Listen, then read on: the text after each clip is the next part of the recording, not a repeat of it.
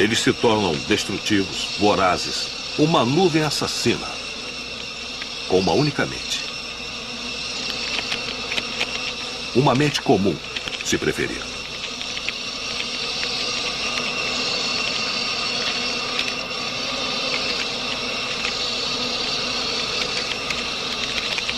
Essa nuvem diabólica se alastra por toda a Terra, destruindo o que encontra.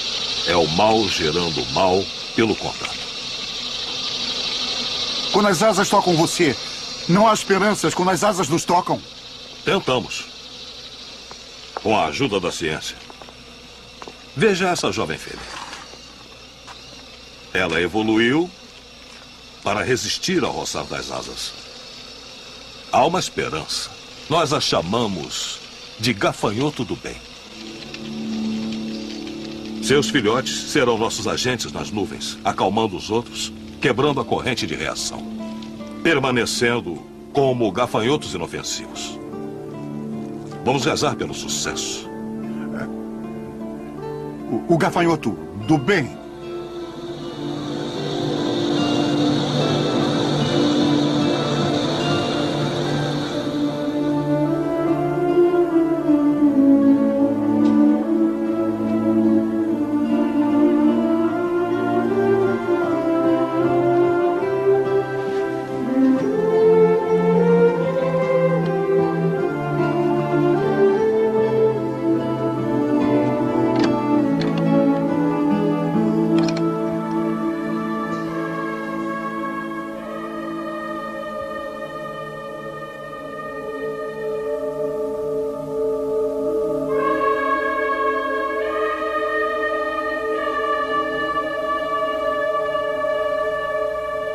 Oi, Riga, onde pensa que vai?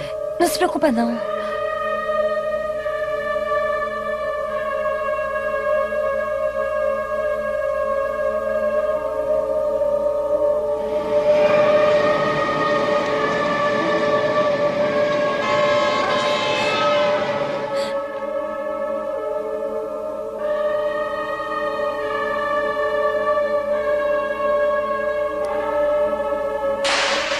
Ay,